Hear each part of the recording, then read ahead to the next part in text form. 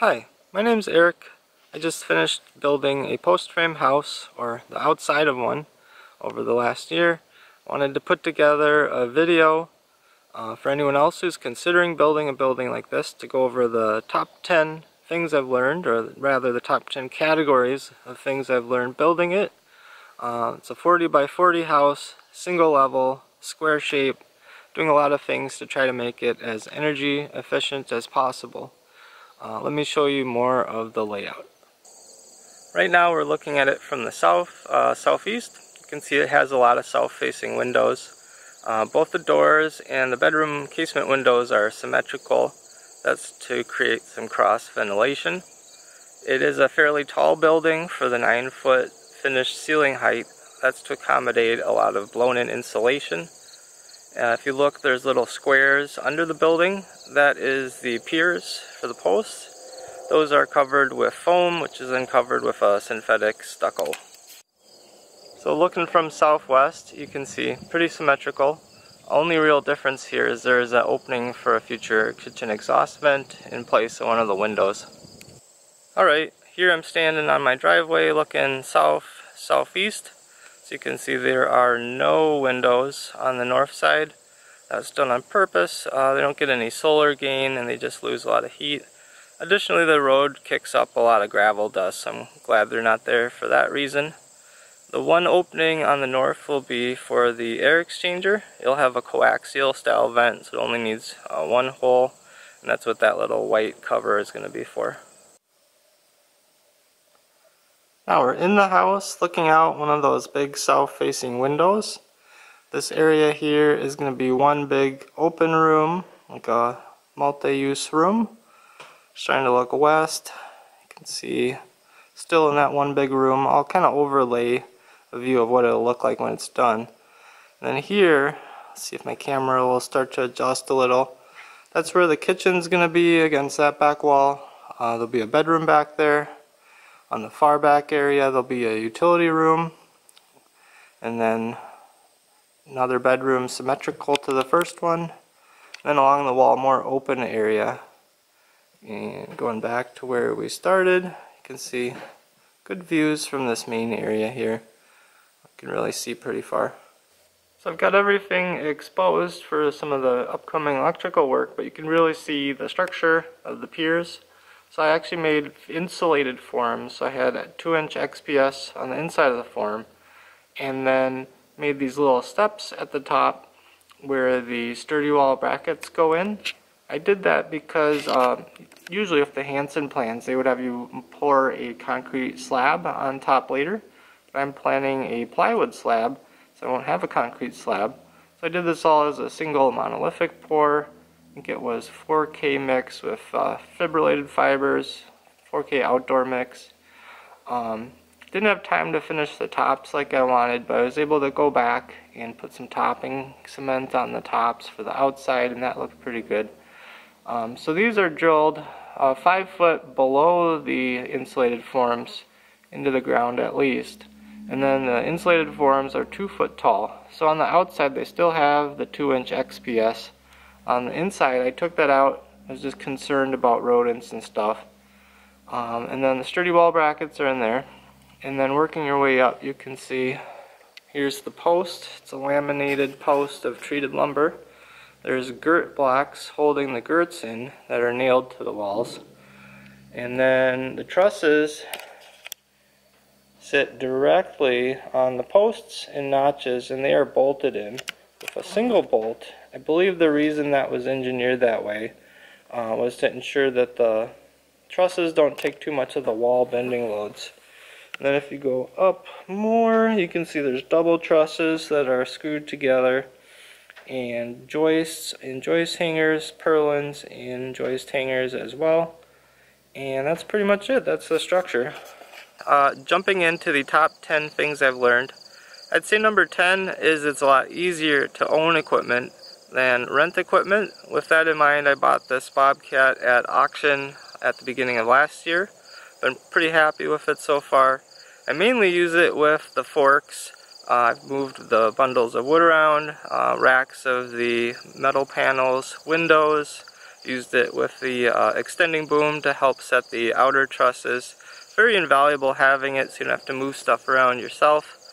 Uh, let's see, buying at auction, I recommend doing that uh, if at all possible and if you feel comfortable inspecting this kind of equipment to ensure it's in overall good shape. There are auctions out there where they do guarantee there are no major problems with the equipment. Uh, I recommend that kind of approach. Uh, and then truck-wise, got an older three quarter ton, it served me well. Ninth on the list would be to get a Conex container or a shipping container. Uh, depending on the size of your building, the 40 foot, which I have, may be the best choice. Stored all sorts of stuff in there, windows, the metal panels, the posts, bunch of lumber, um, all sorts of stuff. Right now you can see I've got insulation in there. It's just invaluable to have a place to store things. Even if you have a building on site already, it may not be the right size or you may not have room and these are inexpensive and weather tight. So I definitely recommend getting one of these. You'll be able to tuck everything in there and not worry about it if there's a storm or something.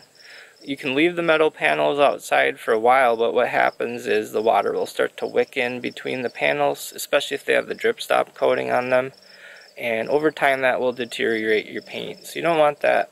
So that's why I recommend getting one of these and using it to store as much as possible. Uh, I made wooden racks uh, for the metal panels with rollers on the bottom that you can use the forks on the skid steer to pull around. Uh, it's been super nice doing it that way. Alright, eighth thing I learned uh, is layout, or rather the building layout. And so when you're planning the building, I'd say the most important thing to keep in mind to make the layout as easy as possible is the unchangeable 9 inch spacing, center line spacing of the ag panel ribs. So you can't change it, so it would be in your advantage to um, every time there's something you can change, like the width of a custom window um, or the overall size of your building, make that a dimension that's divisible by 9. Um, so what that does is it gives you the option to center your windows on the, the gaps between the ribs um, and with the building dimension for your end trims, your corner trims or your rake trims to tuck the ribs in there perfectly. Um, so I didn't do it, but it would be nice. It'd make it easier to get all those details right, make it a little less fussy. Continuing on the layout stuff, um, more layout work for once you get into the building. Um, just some things to keep in mind. Think about the location of your wet set brackets if you're using those. The width of the bracket is actually a little less than the width of the column. Uh, what that does is gives you the freedom to set your brackets in from your layout by about half of that difference. I should have done that, I didn't, so I had to notch my grade board slightly to hit everything to layout. So obviously I use string lines here to figure this all out. I use string lines whenever possible, and I also recommend getting a rotary laser and using that whenever possible. So um, another place I use the laser is up here um, on the top of the post where the trusses sit uh, on the post. I actually lasered that all out to make sure it matched as, as exactly as possible. Same for my wall girts. I lasered the starting location and did everything else off of a metal tape. I did it from the inside of the building because it was raining at the time. It'd be even more accurate to do it from the outside of the building um, make your laser marks there because that is where you care about the layout of the bookshelf girts so you're applying the steel to the outside of the building. Um, more on layout uh, with your trusses. I took into account uh, the width of the trusses and I gave an extra allowance for the nail plates. Uh, but the nail plates are a little bit bigger than I thought so all those dimensions were off just a little bit. So I'd say be very careful uh, about how you're calculating the width of your truss and look at it across the thickest nail plates you can find uh, and total those dimensions up. Number seven, running the steel. So before you can even run the steel, you need to have a flat roof deck or a flat wall. And I think what you'll find is lumber is not perfect. What I think would be helpful is to run through your lumber and find the best boards and set aside all the best boards for your fascia boards and then the bevel, bevel purlins that sit right behind the fascia purlins. And additionally set some good stuff aside for the rakes. Uh, and then with the rest of it, you just need to work around its imperfections. You need to find the ones that don't have bow. And if possible, uh, you need to look at them and see what the widths are. The widths can vary across the 2x8, which is what I had. Uh, and in some cases you may need to shim to your joist hanger to get everything lying flat. And then once you get that all set up, you can start checking uh, cross measurements. Make sure those are good with uh, metal tapes is what I liked to do. Do it on both sides of the roof. Um, do the first side, do the second side, and then after you roof the first I would recheck the second one because it may shift. Um, and then I also like to run a string line along the eaves that you can sight to from the bottom of the panel. Uh, as far as getting the panels up, I found it easy to just pull them up from a lumber rack I had made. Um, that worked out great.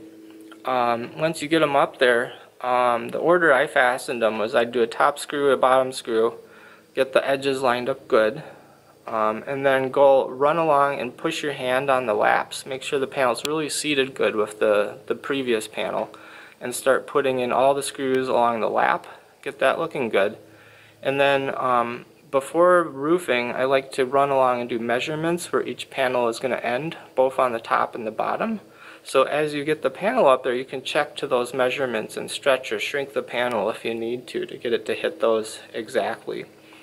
Uh, if you do have the anti-condensate coating, which I did, uh, it's helpful to get rid of it completely.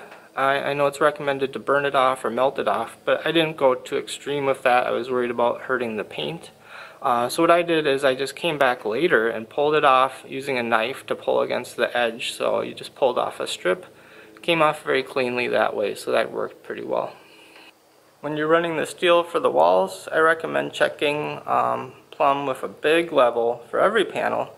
I liked to mark locations where the panel would end with an expo marker on my house wrap and make sure I was hitting that I followed the same sequence as with the roof panels, uh, a couple of top and screw, a bottom screw, uh, when convenient. Sometimes somewhere I'd put the, the screws somewhere else just to hold it in place. Uh, then run along the lap, get the lap held in place, and then run the screws that sit right next to the lap first.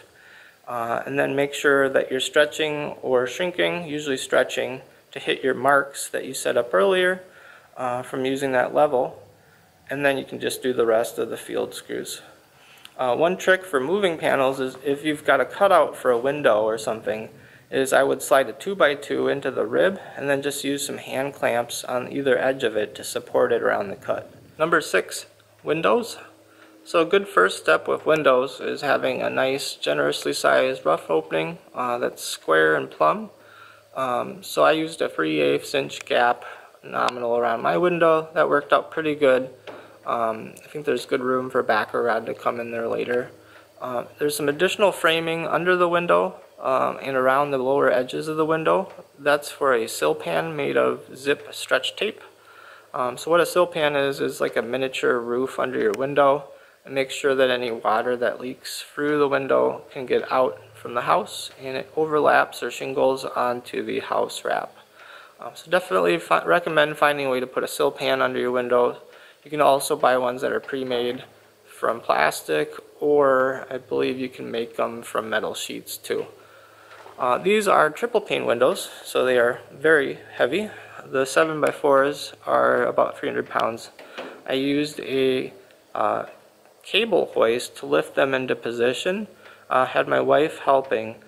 The process was we would drive them over with the skid steer really slowly on a special rack, get them right into position uh, and then get them attached to a special kind of lifting fixture that attached to the to the cable.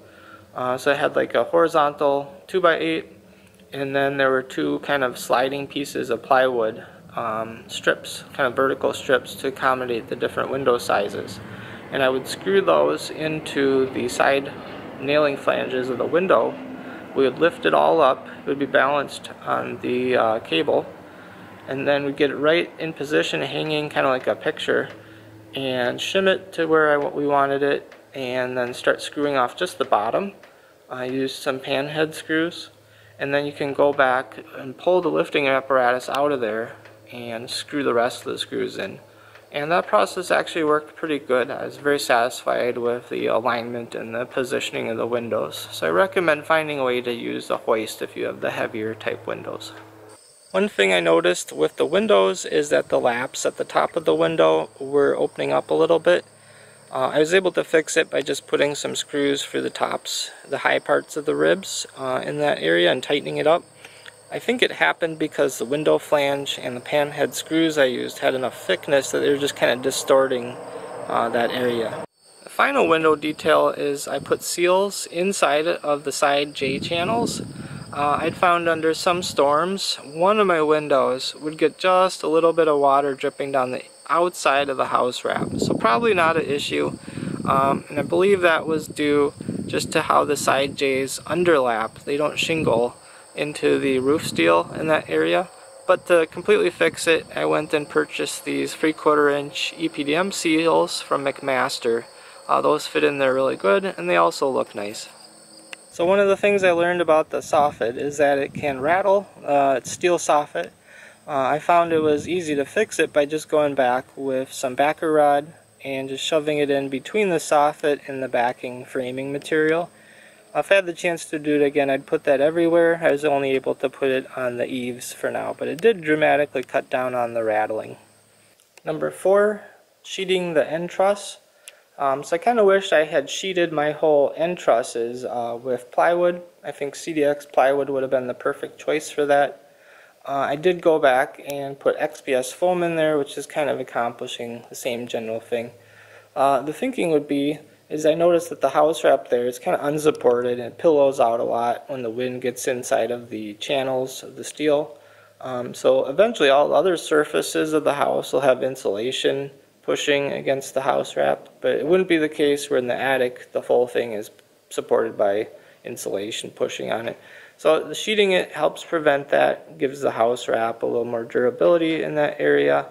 Uh, I would just sheet it on the ground before you even list, lift it up and place it. I think that'd be easiest. Number three, house wrap.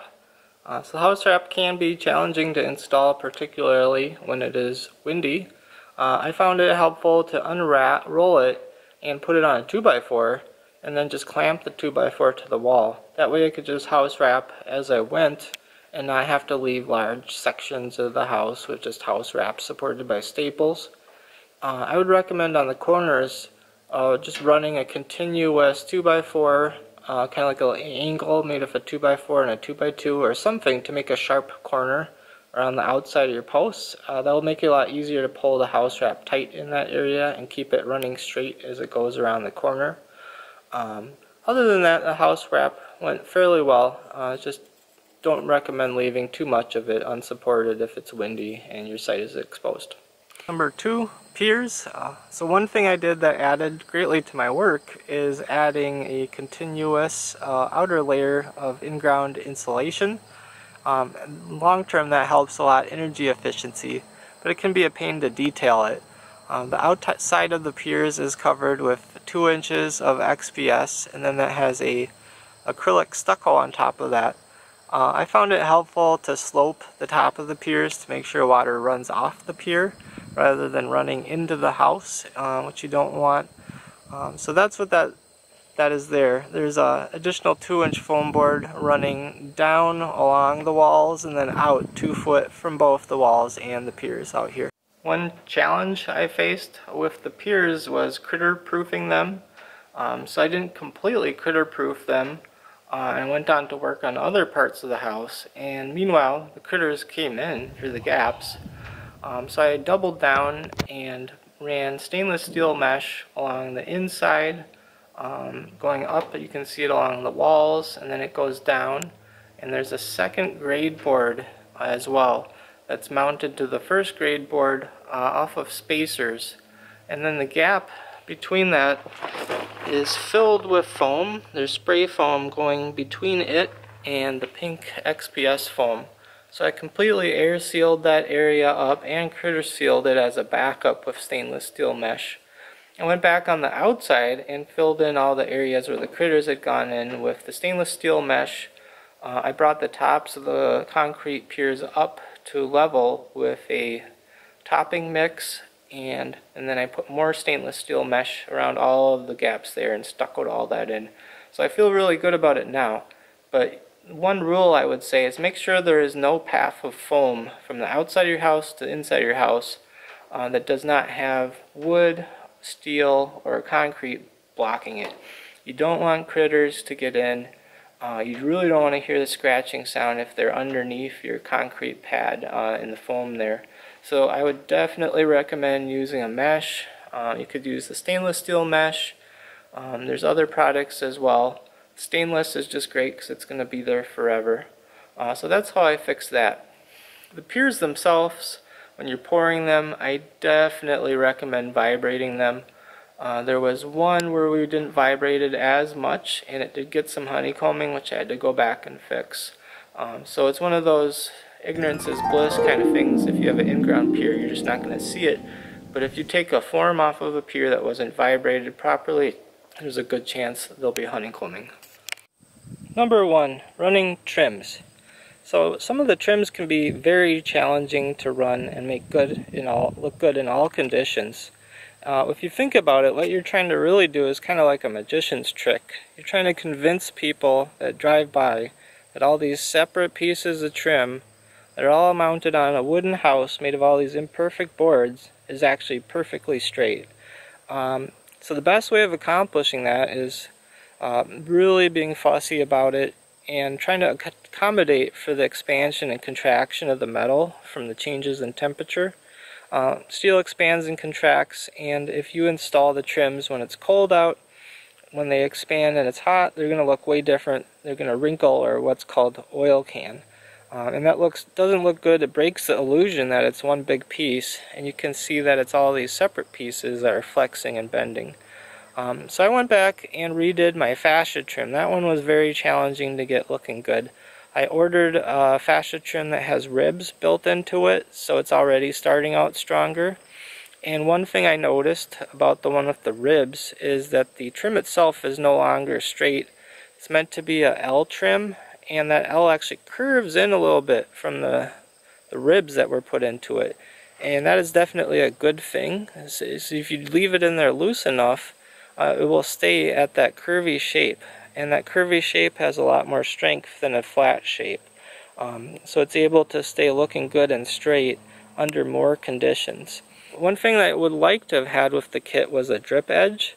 Uh, you don't need a drip edge in my opinion for waterproofing reasons, but it is a very convenient way to hold on and locate the fascia trim while allowing it to expand and contract. Uh, instead what I did is I went back and put battens of PVC on the top and then put just two screws on the bottom. And for every one of these screw holes, I had first pre-drilled them in position and then went back and opened them up so they're dramatically bigger. Uh, I'd say maybe a 3 eighths inch diameter almost on most of them. And that gives the fascia trim panels room to expand and contract and not bind up and make that oil canning. Um, and I was also able to kind of tension it so there's like the same tension along the whole fascia trim. As with all of the trims you want to run them to a string line if at all possible and also recommend cutting them to as equal of a length as you can. Uh, I didn't do that the first time and I ran up with like a short piece on the end and it didn't look as good. So really put the thought in on the trims. Remember you're like a magician and you want to make the illusion that that's one big solid chunk of building. It's not five pieces of steel.